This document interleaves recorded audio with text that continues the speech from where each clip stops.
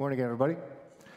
Man, it's so good to be with you. I uh, mentioned I'm a priest of the Diocese of Pittsburgh and uh, just had a, an assignment change. I've had a bunch of assignments. There's a lot of, a lot of changes going on in Pittsburgh. So I've had four different assignments in the past past six years, and I was uh, my last assignment. I was pastor of three parishes, and it was just awesome. Like we were we were kind of growing during COVID. We were we were booming. Our doors were open. There was a lot of really great things going on, and so I, I said bye to. Uh, I was celebrating my last masses, saying bye to them, moving to my new place. Uh, I guess about three weeks ago now. And I'll tell you this because it's funny. And I was preaching, and you know, people are crying, and it's like really sad. It was the first time I was a pastor, so I was there for one year, and just a lot of really, a lot of really beautiful things happened. And I was preaching and preaching. I was talking about like heaven, trying to give them a word of consolation. Like in heaven, like we'll all be together. Like if we just conform our lives to Jesus on earth, like we'll all go to heaven where there will be no transfers, right? And instead of saying that, I said, and, and, if we just conform our lives to Jesus, like we'll go to heaven where there are no bishops, you know? and people literally started clapping. I was like, no, no, no, no, no, no. Like, this is being live streamed. Do not clap. And it got louder. I'm like, that's what, no, it is. Like a little Freudian slip right there. So this is what, the bishop's like, oh, really? You know? You're now the chaplain to the, you know. I, I find the first reading so encouraging like at the birth of Moses, right? We know that Jesus Christ is the new Moses, right? But uh, I just find both of these births, the old Moses and the new Moses, to be so incredibly encouraging. And I, I find them to be so encouraging because they're so kind of wild. They happen in such difficult, strange, challenging, brutal circumstances. You know? Like sometimes the voice of discouragement in our lives can be so loud that it drowns out the voice of encouragement. You guys know this especially in ministry. Like the voice of the devil is always the voice of discouragement. The voice of God is always the voice of encouragement. And so much of our lives are dictated. Our happiness, our joy, our fruitfulness in ministry is determined by what voices we're listening to. Amen?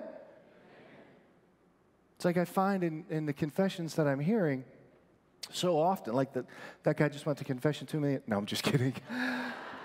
and uh, I, I just find like, the devil's getting us with anger right now and a sense of a need for justice, right? But it's, it's beautiful. Like the gospel teaches us this justice is mine, says the Lord. Vengeance is mine. That's what the Lord says. So I don't have to be the one to administer the justice. Amen? Like that's up to God. So I can let go. But back to the first reading. This is how the birth of Moses came about. And that's how the Gospel of Matthew starts with the birth of Jesus. How did it come about? Well, yesterday we heard that a, a king arose in Egypt who knew not Joseph, right? And what does the king do? He starts getting really suspicious and he starts getting afraid. Fear is the root of all sins. Bishop Barron says the opposite of love is not hate, it's fear. Hate is the root of fear. So he becomes afraid and he gets all the people to become very afraid. And so they start to oppress the Israelites, right? And they start to oppress them and then they enslave them. And then they go like a step further. It ends by saying that Pharaoh commanded that all the midwives would take every male baby that was born and throw the children into the river. See, this is why it's so helpful to have series like The Chosen or Mel Gibson's The Passion, because so often we go through these readings like, oh, okay. But imagine this is the circumstances where the Savior of the Israelites, who's going to deliver them from slavery and bring them into the promised land, was born. So two Levites get together, Moses' parents, right? And they, they conceive this child. And can you imagine? They conceive this, the baby's born, it's a boy, the mom, mothers, come on. You, you can relate to this, Father, mean, we all can relate to it. So Moses is born. She has to hide him for three months. Can you imagine the terror? Every cry, oh, please, quieter, right? If you guys have seen The Quiet Place, right? Remember when she's like giving birth, she's trying not to scream. She's holding on. To, this is what it would have been like. Like, they find this child, they're going to kill my boy. They're going to kill my baby boy.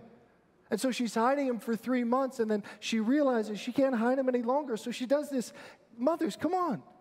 She takes him, makes this basket out of papyrus, puts bitumen, pitch in it, puts him in the water, and leaves him. And his sister can't abide it, right? She's staying by, and, and Pharaoh's daughter comes to bed. Do you want somebody to nurse it for you? Yeah. This is God's providence. Do you see? God is not asleep. Amen? He's not asleep. He's working in all of this. Yeah, he'll take the child and nurse him. But then he gets older and he's got to give the child back, right? This is how the birth of Moses, this is how the salvation of the Israelites was worked out in the providential plan of God, in the messiness and the muck, in the. Now, fast forward to the new Moses. I love one of my favorite lines in Scripture is that exactly. This is how the birth of Jesus Christ came about, and then all hell breaks loose. Like, this is how the birth of Jesus Christ came about. Everything worked out perfectly. They had the perfect bishop at the perfect time, and the perfect pastoral council, and the perfect, you know, it's like, no. It's like, that's not how the birth of Jesus Christ came about. This is how the birth of Jesus Christ came about. They were betrothed, but before they lived together, Mary's found with child.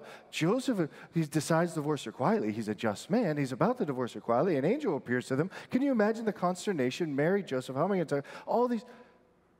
Decides not to divorce. Go, angel of the Lord appears. Do not be afraid. He, okay, he's not afraid. Takes Mary and his wife. Now they call a census. Really, a census? Like, this is horrible timing. And now we're on our way to Bethlehem. She's nine months pregnant. I've her on my donkey. Like, this is not good, right? Really? You met Joseph, like, come on. Did you remember he's God? Like, remember that part? Couldn't you make it a little smoother? Don't we do that?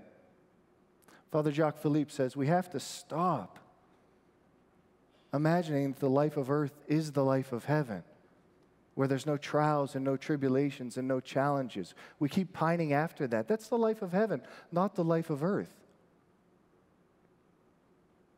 It's the life of heaven. We're on a journey, you know that. The word parish comes from the word parokia. It means pilgrims on a journey. We're not home yet, amen? And so Joseph and Mary are now in Bethlehem, and now what happens? Oh, now finally it works out great. Everything's okay. Uh, Herod is searching for the child to destroy it. Take him to Egypt. Come again? Like, what, like, Okay, so now we're on our way to Egypt, and guess what they hear about? The massacre of the innocents. This is how the birth of Jesus Christ comes about. I'm reciting these stories to you because I think it should be tremendous courage for you. Again, the voice of discouragement can be so loud. Look at the circumstances. Look at the world. We don't know if a man is a man or a woman is a woman anymore. Everything that's going on. 70% of Catholics not coming to church, you know, or not believing the true presence of you. Like you guys know all the stats better than I know the stats. It's so easy to become discouraged. Let me just talk about your personal lives for a second. I mean, maybe you are in that. I mean, your marriage isn't quite what you, and your kids, they're not practicing the faith. And I'm a DRE, and how are my kids not? And, huh, and well, one child is, is same sex attraction, and I don't know what to do with it. And the other kids, and the parents, and the, what's going on in your own heart? I just want to say to you, like, He hasn't forgotten you. You've been remembered. And that's why I love the good thief on the cross. Jesus, remember me when you come into your kingdom. To be remembered is to be remembered, it means to be put back together. I want you today to remember that you have been remembered. All he does all day long is remember you. Just remembering you. This is what God's doing with you right now. Yeah. You're like, hi, God. He's like, hey, hey, guys. you know? That's why these little kids are so cute. I was saying by, I have a youth camp. I jumped on the bus to say bye to the kids real quick, and I jumped off. And they said, Father Joe, you have to stay with us. You have to stay with. They said, we're your biggest fans. I said, all right, I'll stay. You know? Me and a bunch of little kids on a bus. He's not asleep in your personal lives. He's with you. He loves you. Let's just talk about your ministry. He's with you there too. It's like you know C.S. Lewis Chronicles of Narnia. Aslan is on the move. Aslan is on the move. There is no reason for us to be discouraged. But look at all the circumstances. I know the circumstances. Did you not hear Moses? Did you not hear how the birth of Jesus Christ came about? The birth of Jesus Christ comes about, and the birth of the new Moses, that is the saving of the Israelites, comes about in the midst of the muck and the difficulty and the challenges of life. You guys know the oyster and the pearl thing. Sand gets in the oyster and it irritates the oyster, and that's how the pearl is born. I loved our, our responsorial psalm. It said, Lord, I'm in the abysmal swamp. You know, it's like, that's a great prayer. I was driving down here. I was like thinking about my circumstances. I'm like, Lord, I am in the abysmal swamp. Pull me out of the swamp, Lord. Lord, I need you. Oh, I need you. Every hour I need you. My one defense, my right. Oh God, how I need you. And we call on the name of Jesus, right? Jesus. And what does he say in response? Joseph, Thomas, Sally. He's calling your name this morning. Wants your heart to rise, to be encouraged.